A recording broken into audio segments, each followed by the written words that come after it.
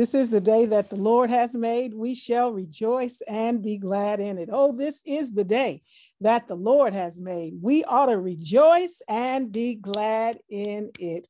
We are absolutely so excited, peacock proud, and hippopotamus happy to be here tonight to celebrate our graduates um, at our 2022 cross cultural celebration. We are just um, so excited for each one of you all, so proud of you. And tonight we take this moment to honor all of our students of color for your accomplishments, the blood, sweat, tears, and prayers that you have put in over the years for this particular moment and beyond because we know that ministry is just getting started after after a graduation. And so um, we say to god be the glory for what god has done. And again this is our opportunity on behalf of all of the centers of mccormick theological seminary. Of course our president who is about to come forward as well as the board we tonight we congratulate each one of you and we celebrate and honor you for the work that you have done and for your accomplishments. At this time, going, I'm going to turn it over to our president, uh, David Crawford. Thank you, Dr. Stacy. Welcome, everybody. It's great to see you all to be able to be together tonight, even in this virtual space for what is always a very special event. Uh, I, I want to, first of all, just take a moment to thank our amazing Reverend Priscilla Rodriguez, Reverend Dr. Stacy Edwards Dunn, Reverend Dr. Leslie Diaz Perez, and Reverend Dr. Daesun Kim, our IT and communications teams who make all of this possible. Friends, I'm honored tonight to have been asked to introduce our very special guest, and we will do that. Uh, Leslie, I need to check on the schedule. Are we is, are we going to Dr. Moss later? In a little bit. Okay, so I will just stop there and just say, welcome to each and every one of you to an event that year after year is one of the truly uh, special events that McCormick gets to do. So welcome everybody. Would you join me in prayer and saying thanks to God for this day? Oh God, how great and wonderful are the works of your hand. As we gather here today to celebrate, we just say thank you. Thank you for all the ways that you have showed up and showed out. Thank you for all the ways that you have supplied and provided. Thank you for all the ways that you have helped each and every single one of these students. God, we just today we gather, we celebrate, but we celebrate your work in each of us as we continue to listen and hear all the testimonies that will come forth. They are just confirmation that you have always provided and made a way. So, God, uh, we welcome you in the space. Take dominion and control of everything that we do, and let it be for your honor and for your glory. It is in your son's name, Jesus, that we pray. And the people say, Amen, Amen, and Amen.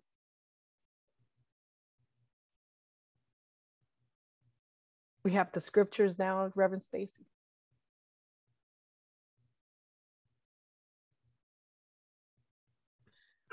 I'm going to read our scripture. I have some background noise from the twins.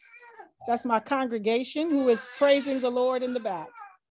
Uh, our scripture reading tonight comes from Jeremiah 29 11 through 13, which says this For I know the plans I have for you, declares the Lord plans to prosper you and not to harm you, plans to give you hope and a future.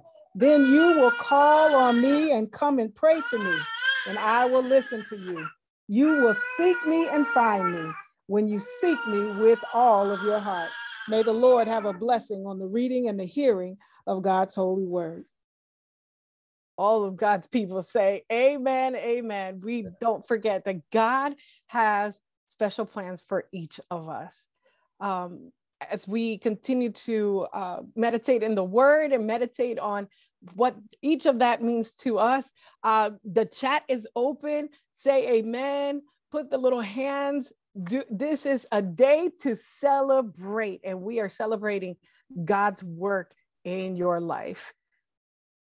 Um, it's okay to open up your mic. It's okay to, that's okay. This is a celebration. This is a celebration. Can anyone say amen? Amen. Amen. Amen. Has Amen. God, amen. Has God done something in your life? Amen. Amen. Amen. Gloria a Dios. There you go. Glory to God. Today we are have we're going to have people from north, south, east, and west. We have people from all over. So uh, just let us know where you're watching from, where you are uh, right now located, to let us know that you are here.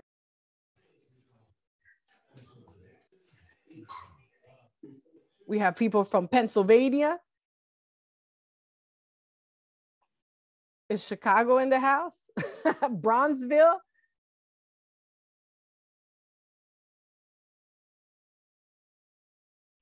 Olympia Fields, South Holland, Madison, Illinois, Phoenix. Phoenix is in the house. Phoenix, Arizona, South Holland, Hyde Park, yes.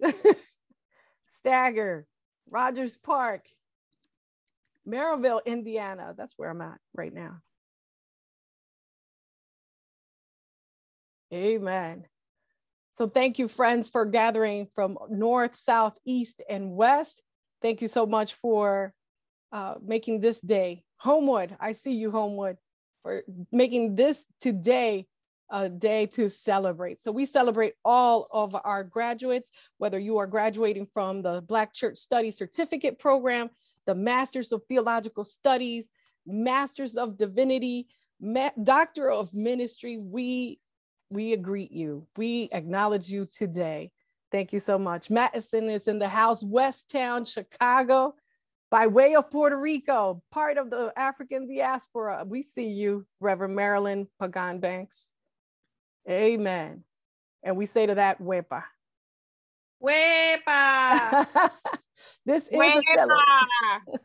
Oh, I hear, uh, I think Lee's Valle as well. Englewood, glory coming through. Okay, Miss Valerie. This is a celebration. Barrington, Illinois, Richton Park. We see you. We see you. We celebrate you. I think this is the time that we uh, turn it over to David Crawford, our president, uh, for the introduction of our speaker. Thank you, Dr. Leslie. Uh, Again, friends, welcome. This is a, a great, great privilege to be with you all tonight on this very, very special occasion. Reverend Dr. Otis Moss III is truly one of those people who needs no introduction. The senior pastor of Trinity United Church of Christ here in Chicago. Dr. Moss has been a devoted friend of McCormick, an inspiration to all of us, and we are grateful beyond measure. Dr. Moss grew up in Cleveland, Ohio. He is a proud honors graduate of Morehouse College, earned his MDiv at Yale Divinity School, and Doctor of Ministry degree from Chicago Theological Seminary. In 2014, he presented the renowned Lyman Beecher Lectures at Yale University. The three-day lectures became the basis of Dr. Moss's 2015 book, Blue Note Preaching in a Post-Soul World, Finding Hope in an Age of Despair. Dr. Moss is a hugely popular speaker on college and university campuses, at conferences, at seminaries, and churches across the country, indeed around the globe. Friends, it is my distinct honor to introduce our very special guest, the Reverend Dr. Otis Moss III. Dr. Moss, welcome back to McCormick. We are so glad to see you. Thank you so much, President Crawford. It is a delight to be with you on this evening for for this celebration. Um, my, my apologies for my tardiness. Um, my daughter was going off for prom. Uh, and so I was designated to take some pictures and to drop her off uh, for prom. Uh, so I just want to let you know that she got off well. She looked beautiful and all of that. And uh, I'm so grateful to also have this opportunity for this celebration with the students of McCormick. And we are grateful for the work of McCormick, and we are deeply tied to the institution. Though uh, we are not Presbyterian, uh, we are uh, connected to the Presbyterian community, and we are thankful that uh, Reverend Dr. Stacy Edwards Dunn is a part of the McCormick community, uh, along with a long list of Trinitarians who not only serve at McCormick, uh, who work at McCormick, who are custodial at McCormick. Um, every everything you name it, there there is a Trinitarian running around there somewhere, and so uh, we are deeply bound and connected uh, to the institution. And I am absolutely honored to have this opportunity uh, to share uh, with the students to this cross cultural uh, uh, celebration for students of of of color. We are just so appreciative uh, very much for having this space, uh, for having this space. I would just for the few moments that we have uh, want to to lift up uh, a passage of scripture uh, coming uh, from the gospel according to Luke, and I want to lift it up in a very special way. It is from the eighth chapter.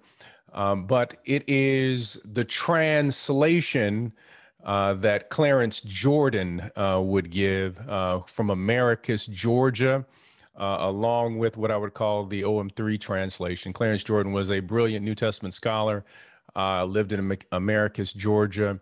was an anti racist before there was the term anti racist, creating a community of people who simply believed in the power of the Holy Spirit.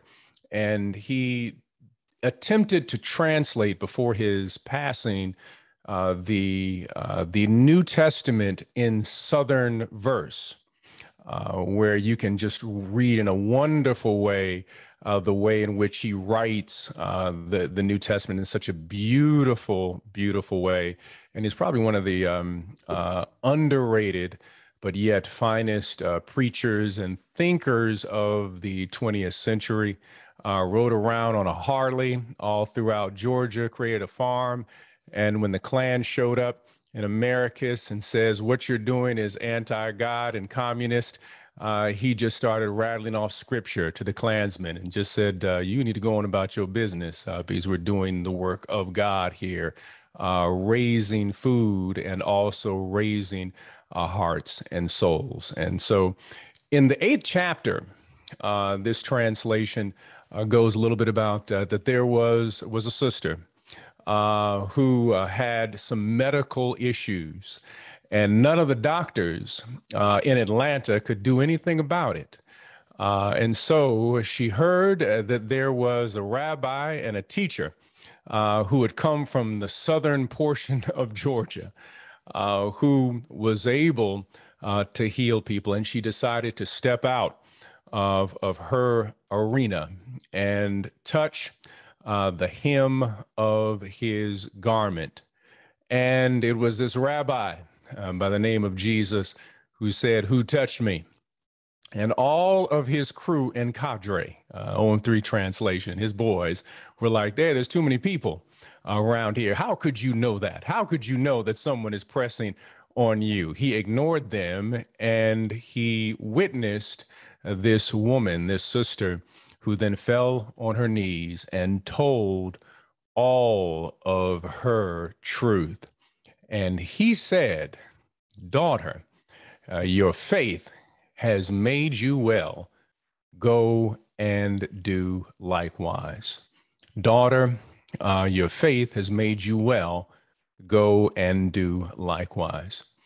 I'd like to just for a few moments to just deal with this simple idea of we have nothing to lose uh, as you are stepping out into a new moment of ministry and opportunity and possibility and risk, uh, as faith and risk are one in the same, uh, that we recognize that we have nothing to lose. As uh, President Crawford already had mentioned, I am a child of a space known as Ohio, particularly uh, Cleveland. Uh, and when I was growing up in Cleveland, Ohio, as a small child, it was my uh, my godfather by the name of Alfred Warren who would take myself, along with my god brother Carlin Warren, to uh, the circus every year. I'm not talking about any just simple circus. I'm talking about that Barnum and Bailey three ring circus. I loved going to the circus every single year. Uh, I loved everything about the circus. Uh, I loved the clowns that would pack into a small little car, and maybe 11 of them might pop out of this car. I loved the trapeze artists. I loved everything about the circus. I love the lions. I love the tigers. I love the bears. Oh my, I loved everything uh, there is to know about the circus. But there was one particular uh, uh, animal that I absolutely found fascinating uh, when I was growing up, and that was that was the elephants. They were they were so incredibly majestic, they were so incredibly beautiful on so many levels, and powerful. But but I was always nervous every time the elephants came out because we usually had good seats, uh, thankfully because of my godfather. Uh, we were usually on the third row. He got a hookup somehow. I'm not quite sure how. And I was always worried that when the elephants came out, that there would be an elephant coup d'etat that would take place. Be- because there was the only thing stopping the elephants from making its way their way into, into the audience, into the bleachers, uh, was simply a man who had a whip and a chair. It made absolutely no sense to me how a man who did not have as much power, a man who did not have as much authority, a man who did not have as much strength, could keep these elephants in line who were built and designed and destined to be more to have more strength and power and majesty than this tiny little man. And i was worried every time but it was my godfather who said to me oh, otis you don't you don't need to worry. He said because you must understand something about these elephants uh, that these elephants, uh, when they were, were kidnapped from uh, the region from which they were which they came from, uh, when they arrived, whether it was in the United States or in any other particular uh, country, that they were always brought as children and they were trained as small elephants. There was a chain that was placed around their neck. And there was a chain roughly 12 feet in length um, that was connected to a post so that the elephant would develop and grow thinking that the chain was a limitation upon its possibility. They would never move beyond 12 feet, thinking that's as far as they could go. And they would be trained to think that the person standing in front of them had more authority, had more power, and had more strength than them. He explained to me, he said that uh, literally that the elephants were colonized and miseducated to think that they did not have as much power or authority. And as a result, when the elephant got a certain age, they would release the chains. The elephant would be emancipated, but the elephant was not liberated.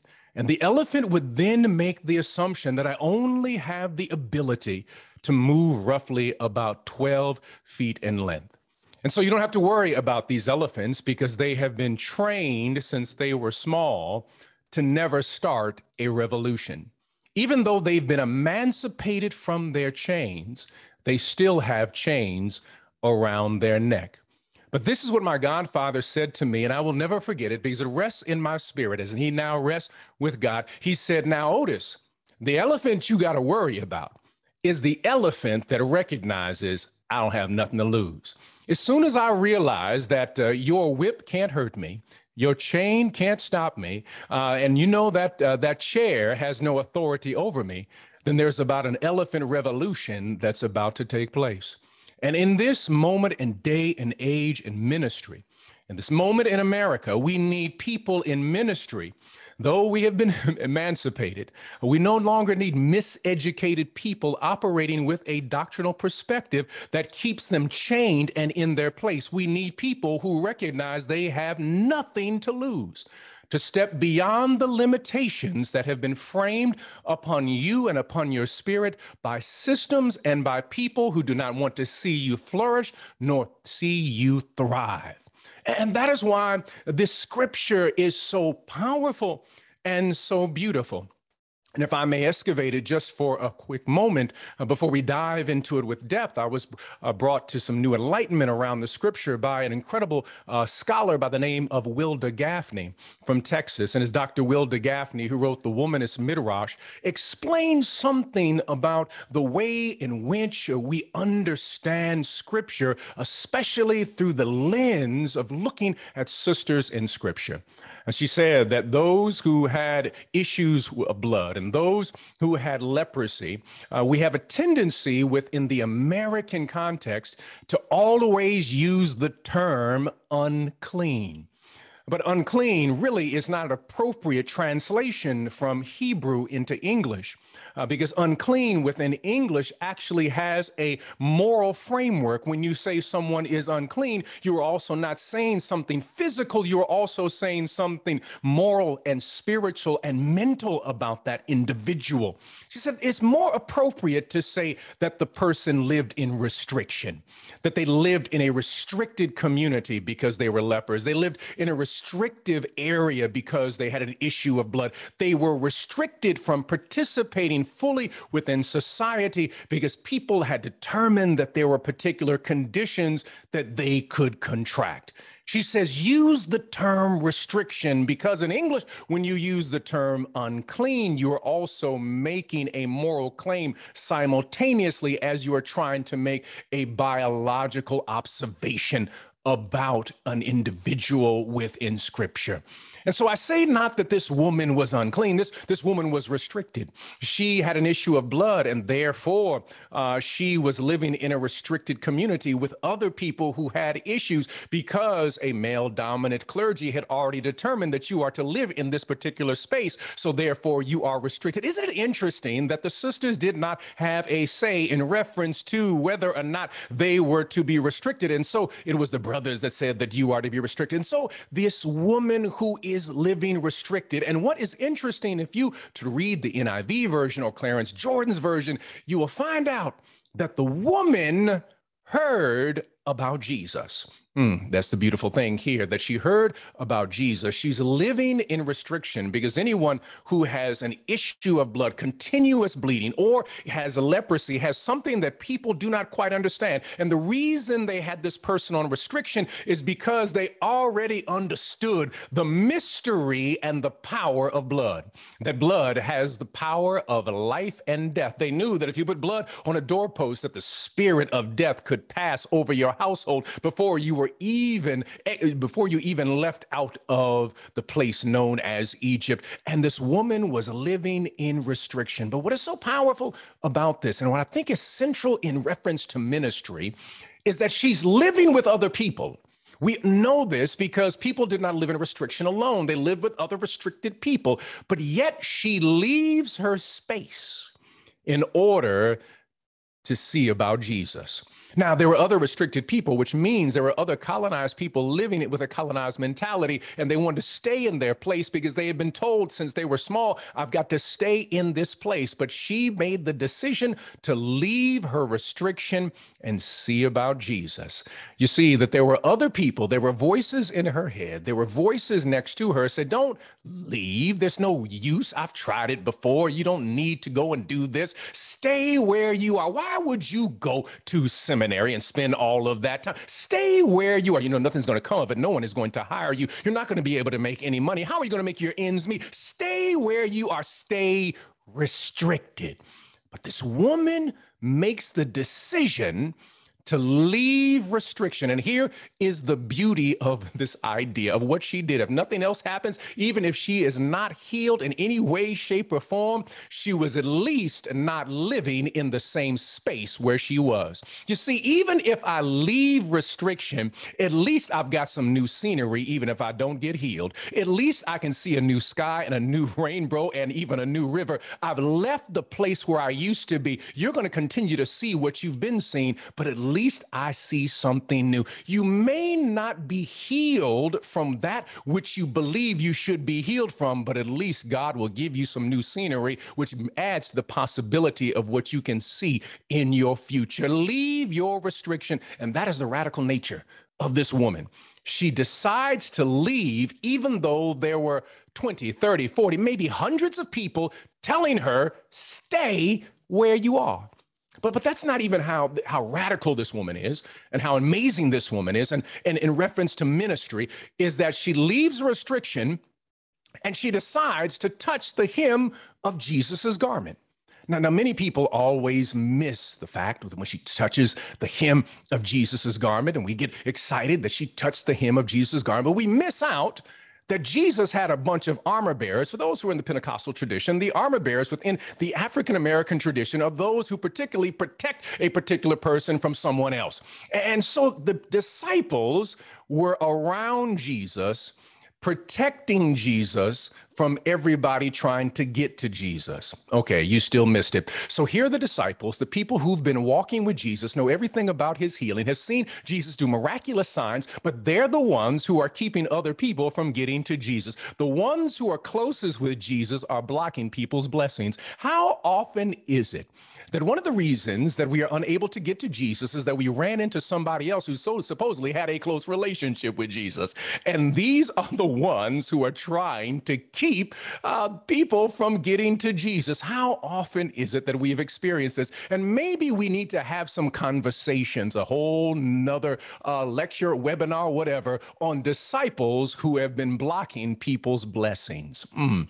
And so we see here that the men, are doing the men thing. It's the patriarchy that's blocking this woman from getting to Jesus. They are standing there like armor bearers trying to say, mm, we don't want anybody to touch our Jesus. Isn't this interesting? They believe Jesus needs their protection.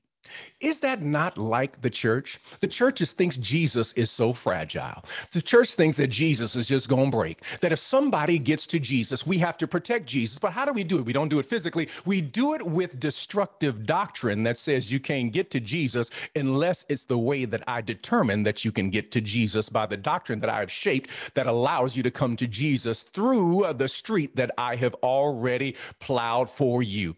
But we see this woman is so radical. She's says there's another way to get to Jesus while you're standing up because they're doing the men thing. That's what armor bearers do. They stand up there, arms across, looking around, looking like security, making sure no one gets to Jesus. But watch what the woman does. In order to get to Jesus, she doesn't look the brothers in the eye, fuss anybody out, yell at anybody, cuss anybody out. She falls on her knees, puts herself in a position of worship, and then reaches her hand to touch the hem of his garment. Now, I could stop right there because that's shouting right there that she put herself in the position of worship. She didn't go over the top. This was not like football. She was not going left or right, trying to you know to juke somebody here or there. No, she falls on her knees and then reaches and touches the hem of his garment.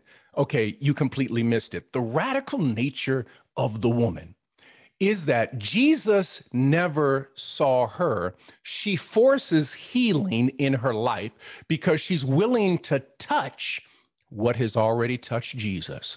And how often is it uh, that we have really been have built a connection with the divine, a connection with God, a connection with the Holy Spirit, not because we had a direct relationship, but we were in contact with someone else who was already in contact with Jesus. That's the reason you are able to finish McCormick. It's not because of you, but there was somebody else who was praying for you long before you even knew what prayer was all about, that knew that you were going to do something magnificent and great. Someone someone who was already in contact with Jesus and you came in contact with them. And it was, as a result, it changed your life.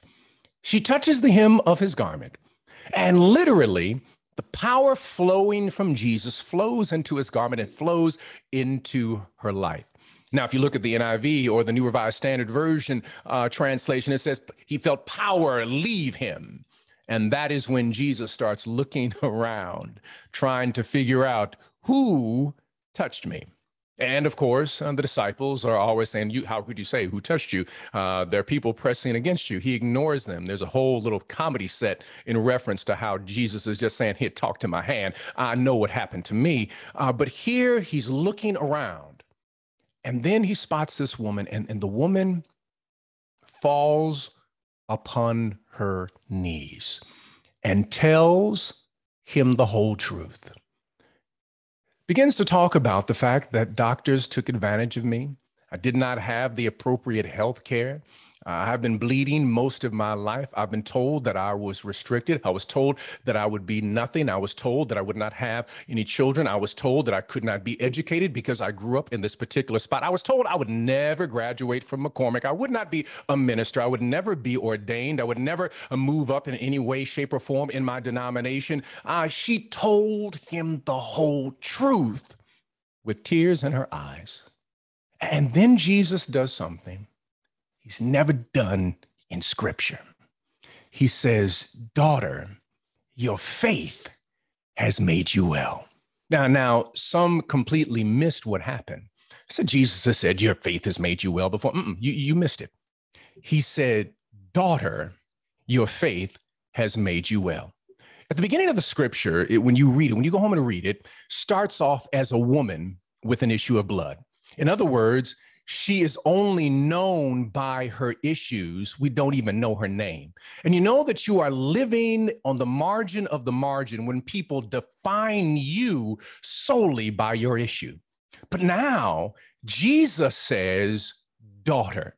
In other words, you enter into my family, daughter. And when you understand the relationship between a father and a daughter, I just dropped my child off at prom, and you understand that when someone makes the claim uh, that you're my daughter, all of a sudden you say that as a father within the ancient tradition and in the present tradition, if you mess with my daughter, you gonna mess with me. If you say anything to my daughter, you got to deal with me. You got to deal with me. You got to come through me because this is my child child.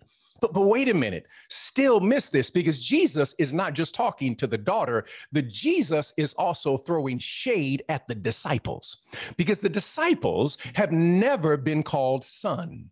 They've always been called disciples. So, in other words, the woman is elevated higher than the disciples. So, higher than Peter, yes, higher than Mark, higher than Luke, higher than Nathaniel, higher than every disciple, higher than Paul, higher than any other disciple. So, the next time we start talking about the one that Jesus loved, he must have loved this daughter more than any of the other brothers because she is elevated higher. So, if there's ever been a moment when someone has said, that you are not to be called. You should not walk down that road based upon something. Remember that Jesus called this woman daughter, but I believe within the mind of Jesus, he was remembering the fact that when he was born, before a man could ever preach the word, God said, I've got to give it to a sister to carry the word. The first person to ever preach resurrection was a sister, and now the highest disciple we've ever seen is also a woman. So we've got a woman at the beginning of a scripture who births the word word. We've got a woman in the middle of scripture who is elevated to a daughter higher than a disciple. And now, the end of the gospel, we have a woman who proclaims resurrection before anybody else.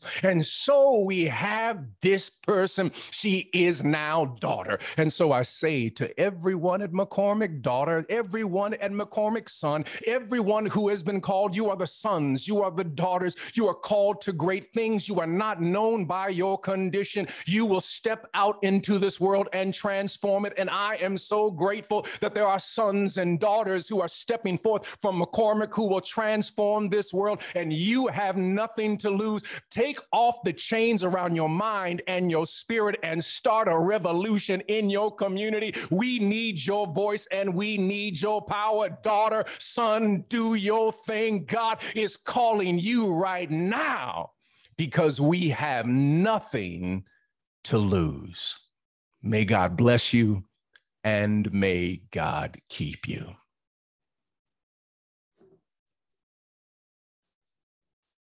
We praise God tonight for that powerful message, and we thank God for the messenger, uh, the Reverend Dr. Otis Moss III. Come on, you put some hands in the chat and just praise God. Lift your holy hands up and give God praise for what God has done and for that powerful word, for none of us have anything to lose. Thank you, Dr. Moss, for that very powerful, powerful word.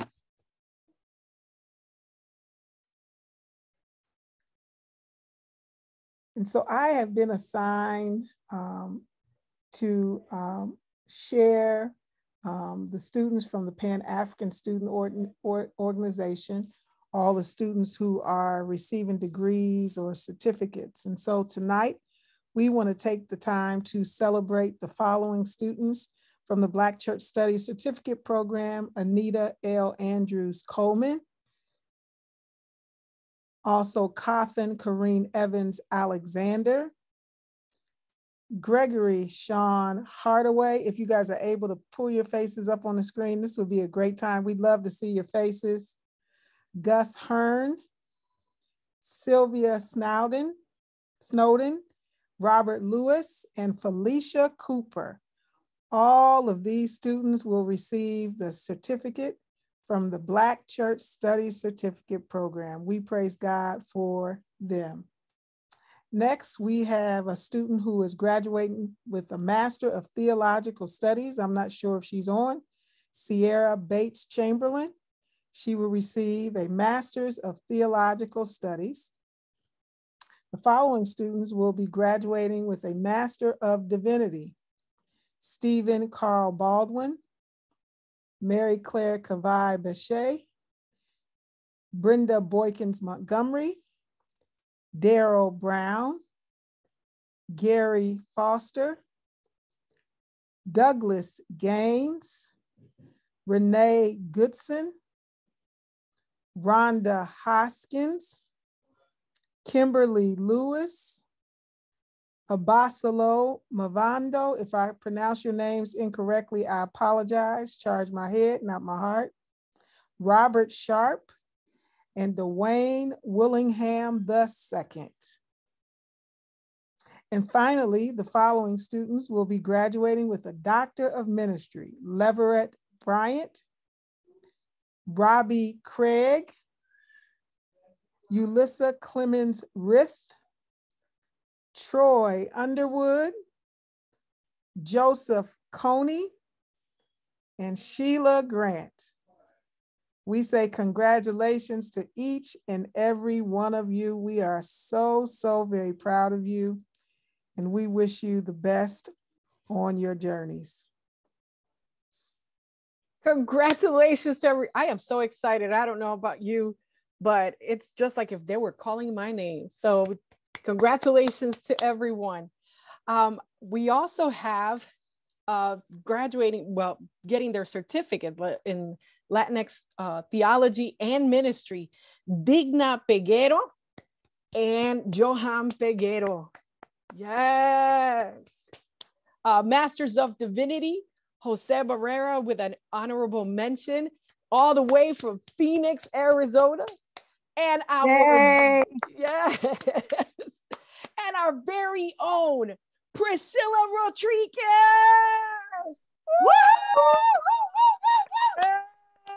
Yes. Uh, who is also celebrating her birthday bash this weekend. So uh, please give her, a, send her a text message, send her uh, some love in the email. Let her know that she is very much appreciated. And we are so very proud of our very own Priscilla Rodriguez.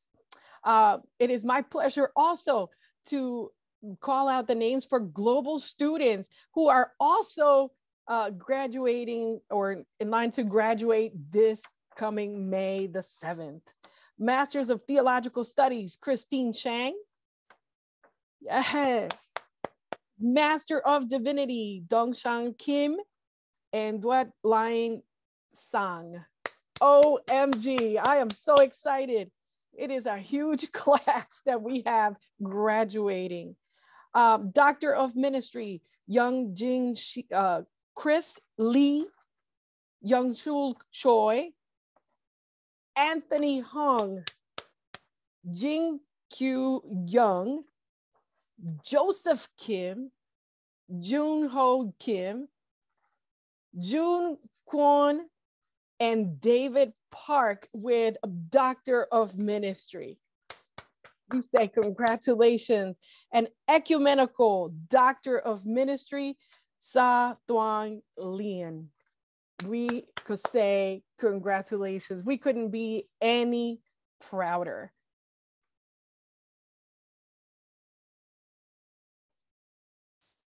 At this time, there might be a few students who uh, would like to share some reflections, maybe one or two from each of the centers. You don't have to.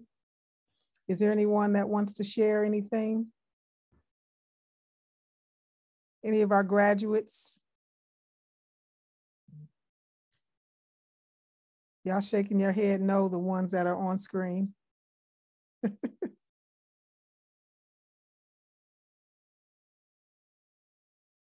Uh, I have a few comments from a couple of them saying uh, they are still working on their assignments as they are, they are just about to finish.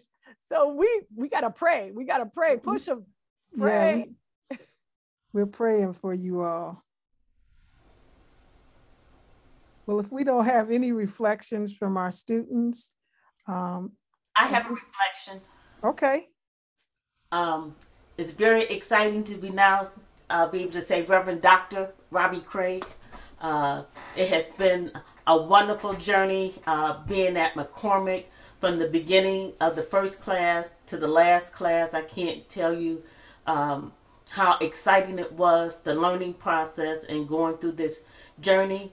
It was also very tiring. It was also very nerve wracking. But uh, praise God, we can celebrate that at this point.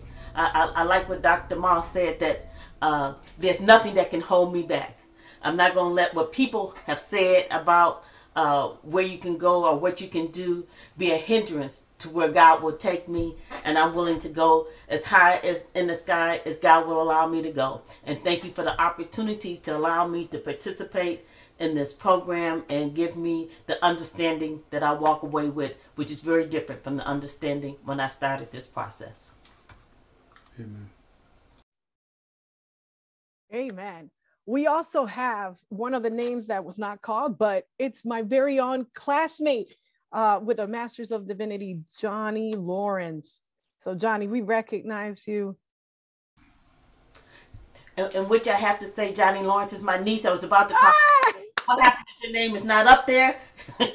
so I'm, I'm glad we got that rectified. And my family, me and my daughter will get our doctorate on May 7th, and Johnny, my niece, will walk the aisle together and getting her master's and my doctorate. Amen. A family that studies together stays together. You better get all your siblings, all your nieces, nephews, uh, who else? Bring everyone in the family. Johnny, you're on camera, so you know you're tagged.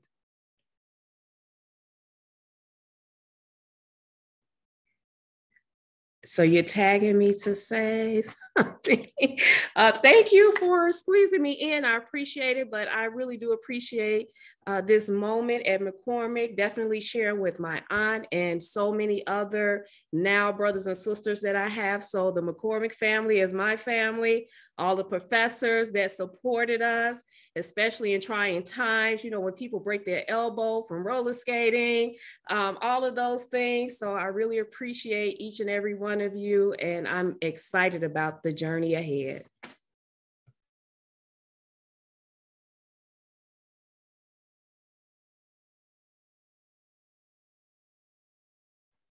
Thank you. Thank you. We have time for one more word of thanks, reflection.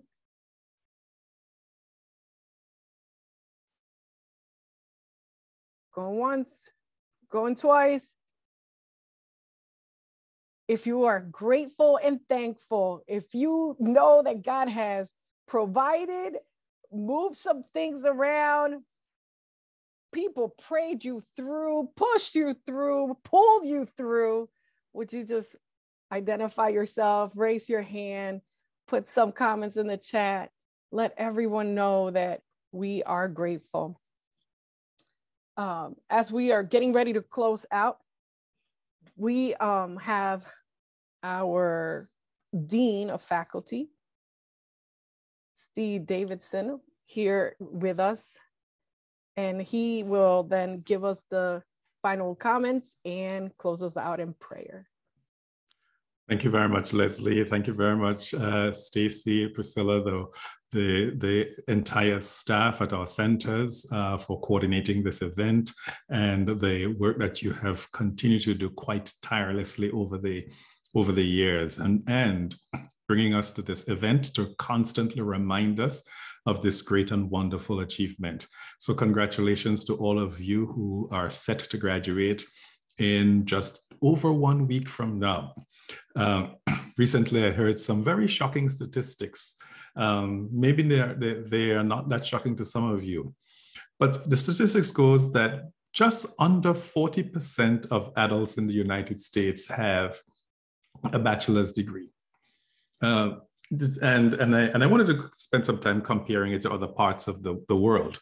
But the, the reality is less than half of the people in the United States have a college education. Less than 40% have a college education. And most of us are in that group, in that minority, in that smaller group. So, in many ways, we are part of a privileged group. But as uh, Leslie was just reminding us, that we enter into that group not necessarily on our own or through our own efforts, but through the collective efforts of communities and a whole number of seen and unseen individuals who get us to this place of achievement. Some of you are not only possessing a bachelor's degree, you're going to have a master's degree as well. Much smaller group. And one of the things that you would have recognized, that you then to recognize, is that education makes you into a misfit in communities. You no longer fit into the communities in which you've come because you've been shaped into something else, something different. And in many ways, you start to see the world quite differently. And this is the responsibility to go help others get right. The world itself is not right. You have discovered this. So, part of your task, part of the duty, part of what that paper is going to mean, but the paper itself, or part of the years of experiences that you have had with us, in some ways, working with you, kicking and screaming to say, Can you look at it this way? Can you perceive reality in this different way? Can this knowledge that you're gaining get you to think of it in that different way? It's all of it to get you right. So help others get right. And that's your task. Um, go, go back to your communities and, and, and in some ways help. And in, in as Dr. Moss reminded us, bring that liberation, help people with the to decolonize the mind and to get free. That's that's the one of the strong functions of education. Freedom, liberation. Claim it, share it. Congratulations and every blessing in your life and, and ministry ahead.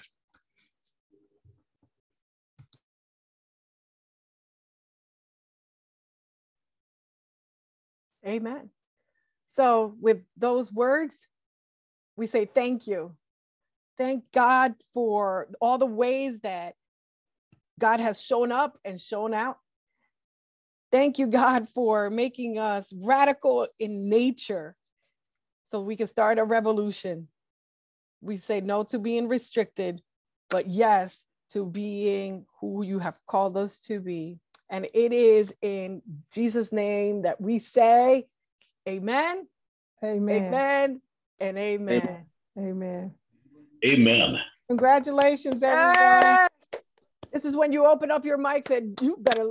Amen. You better make Congratulations, everyone. Congratulations. Yay. Amen. You did it. Congratulations. Yes. Be blessed. You all have a great evening. Have a great Good night. Everyone have a great evening. Good night. Amen and amen. Good night. Good night. Praise God. Woo, hallelujah.